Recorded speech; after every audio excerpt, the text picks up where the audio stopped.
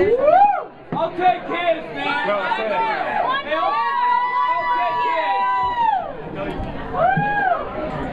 kids. I don't comment about me not being drunk yet. Cheers, motherfuckers. Cheers to the Don't cheers too loud. So we have a smart ass. I like that. We, we, we're cut from the same cloth, my friend. So I just want to go ahead and say, like, I, I, I, I hate yelling at people. That looks like the cushion. It's not. It's not what I got into the business for. I didn't. I didn't. I, I, my parents. What do you want to be when you grow up? I kind of want to be a musician, but I kind of want to go to places and yell at people to shut the fuck up. I didn't say that. I said I kind of want to be a musician. So I started playing these songs, and yeah, some of my songs are slow and boring, and some of you don't give a fuck about how unhappy I was in a relationship five years ago. But guess what? Some people do.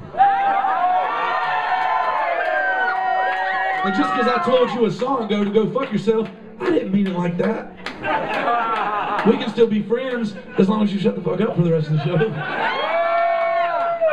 So I just want to let you know that I wasn't trying to be mean.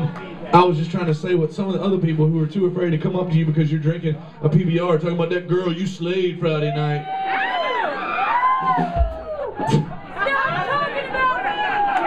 Stop talking about me. Nice. Kevin with the drum roll on that one. But anyway, we're gonna play the rest of the set. We're gonna be happy. We're gonna have fun. We're gonna we're gonna respect everybody around us. Yeah. Yes. We're not gonna have any more fucking fog machines. I'm just kidding.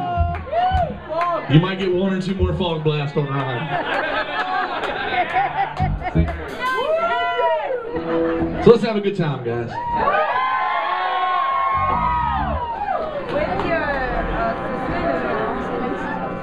You got a wedgie. Wow, the drunk girl again. I remember what it was like be 21 too.